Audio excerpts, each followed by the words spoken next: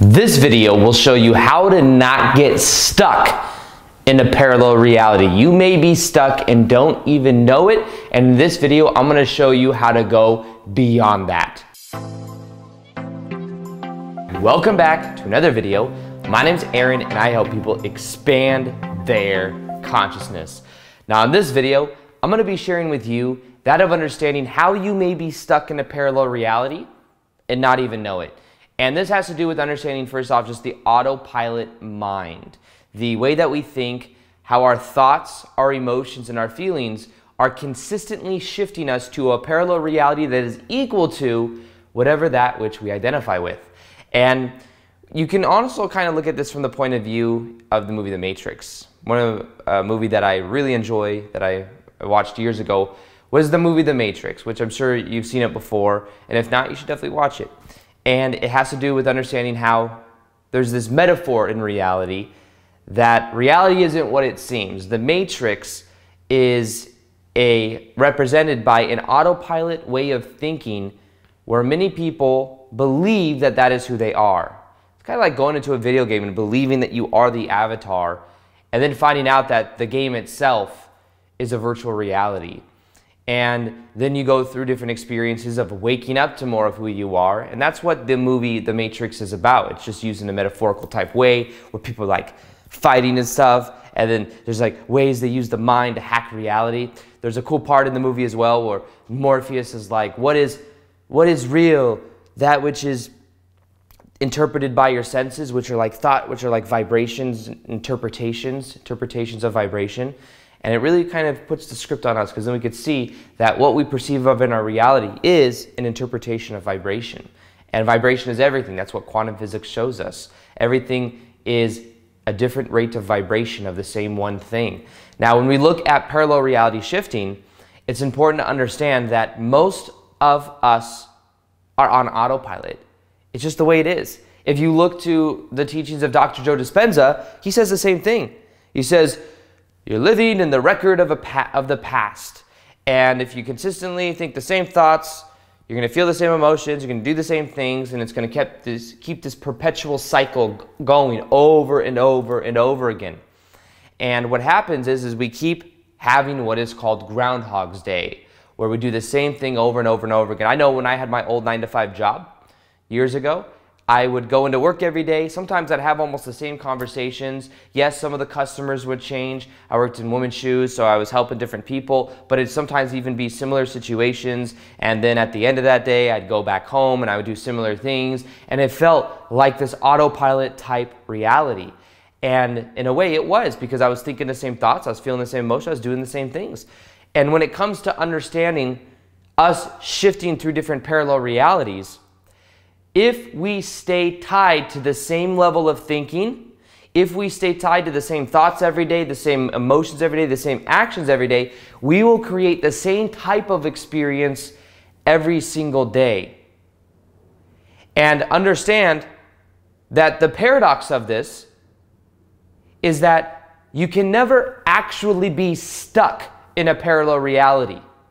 You can never actually be stuck in it because we are shifting every single moment. It's just that some people may create the experience of the same thing over and over again, but we're shifting to the same experience over and over again because of our familiarity with what is comfortable. So we use reality in that way. And many times it may just be the definition itself. The definition of, I am stuck. Well, then we create the experience over and over again of being stuck because of that vibration. That vibration has an actual feeling to it. There's a certain level of resistance of being stuck in that parallel reality timeline. Think of it as timelines.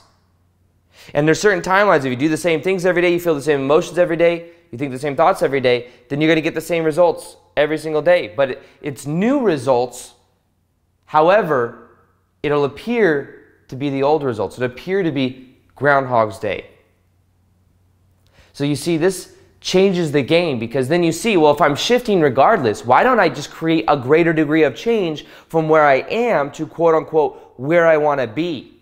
So where I am, where I want to be. What most people do is they create from the record of the past, like Dr. Joe Dispenza would say, or they recreate the same level of thinking from the consistent thoughts, feelings, and emotions they have over and over and over again. Of course, this is completely new parallel realities over and over and over again, but the definitions of being stuck or the definitions of being comfortable of what we think reality is, we'll keep that going over and over and over again.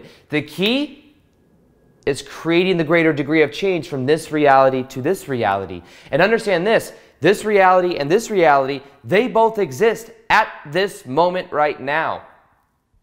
They're just vibrating at different frequencies.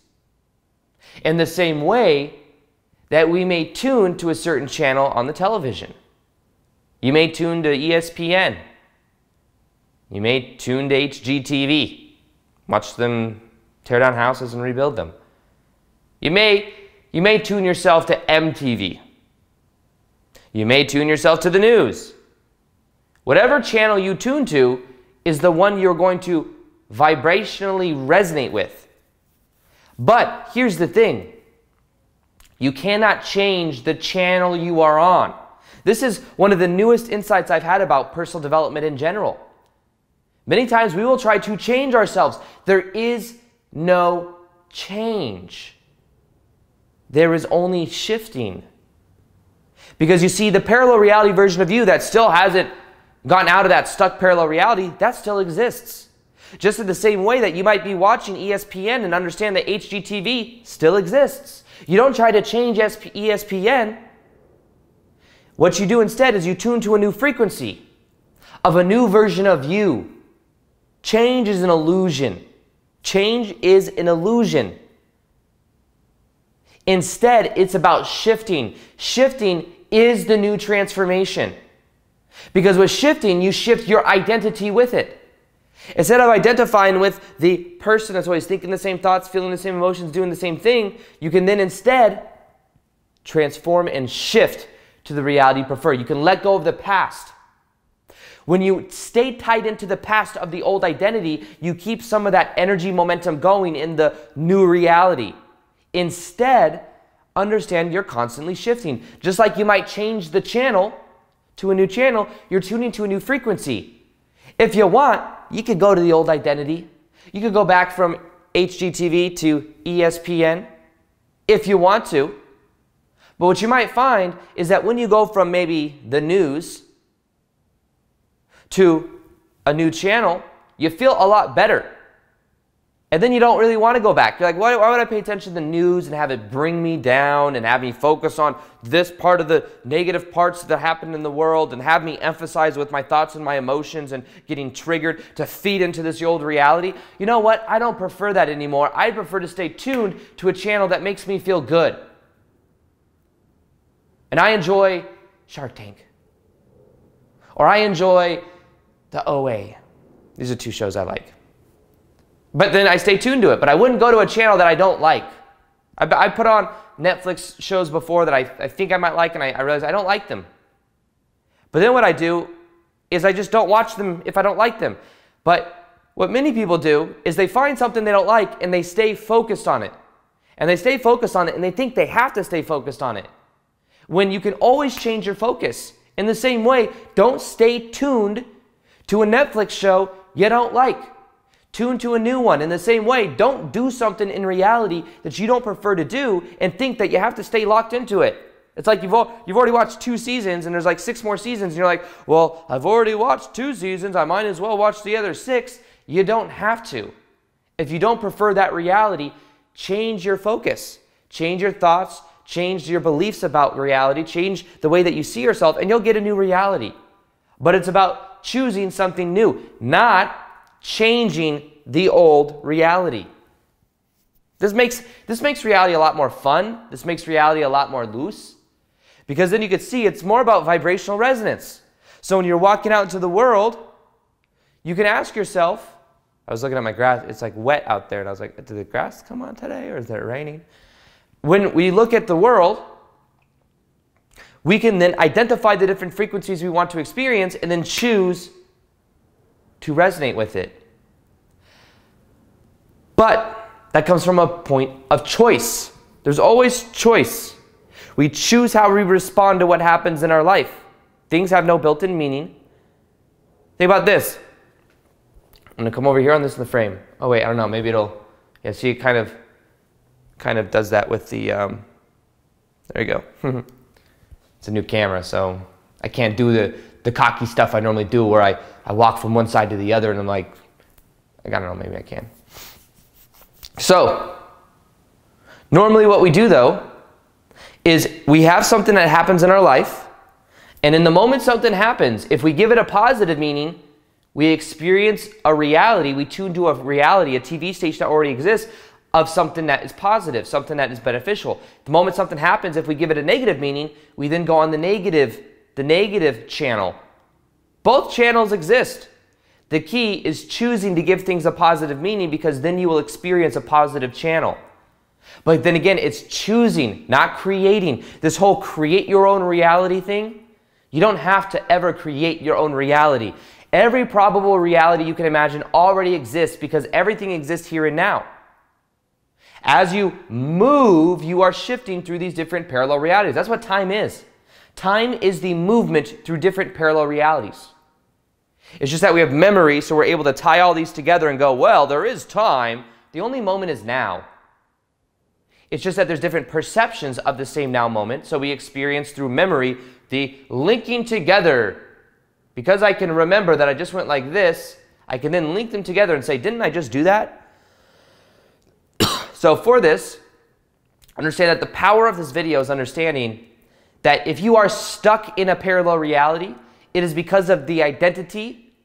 It is because of the choice of the thoughts. They're just comfortable. You're thinking them over and over and over again. You're staying tuned to a channel that you may not prefer, unless you're stuck in a very positive parallel reality. But the word stuck implies no choice. Many people are stuck because they are in a more of a, a victim mindset. Things are happening to them and there's nothing they can do about it. And I know it sounds kind of harsh to say that, but I've been through pain growing up. I know what that's like. I'm not saying it from like level of entitlement. I get it that it's hard. And it can be hard. But a lot of times the belief we have that it is hard is what causes it to be hard. And the belief that we are stuck is what causes us to believe stuck. And the belief that we're a victim is what causes more and more experiences in our life for us to reflect back to us that we are a victim. When we can change that identity, we can change that parallel reality track anytime we want with choice. Choice. Choice is more powerful than decision. Decision the word decision means to cut off from. So it's like you have certain choices, but you're going to cut off certain choices and you have to choose something. Choice is something that you is something that is very empowering because it's not like you have to cut off anything. It's like you just choose. You just choose. You're not given a finite number of two things you can decide from. You're given a choice. And in every moment when you choose, you have more ability and you have more power. So stuck is an illusion created by our definition. I say this before about other things as well parallel reality of waiting. Some people are waiting for things to happen. The vibration of waiting is a vibration in of itself. Instead of focused on time of when will something happen, focus on timing. Focus on being in the moment because then that's a separate reality frequency. There's many different frequencies. There's a frequency of stuck. There's a frequency of flow state. There's a frequency of love. There's a frequency of anything you can imagine. What are you tuning to? What channel are you tuning to? They all exist. But if you find yourself watching the second season of a Netflix show that you don't prefer to watch, but you feel like you have to, change the definition, change the channel, change the Netflix show that you're tuned to. So, with that, if you'd like, I have a meditation that will help you to raise your vibration to a higher state of consciousness. If you listen to it for 21 days, I think it can change your life. It's to be the top of the description box below. Also, I'm to be doing more live Q&As on Instagram, so if you haven't followed me on Instagram yet, you can follow me here. I answer questions, plus I post twice a day there as well.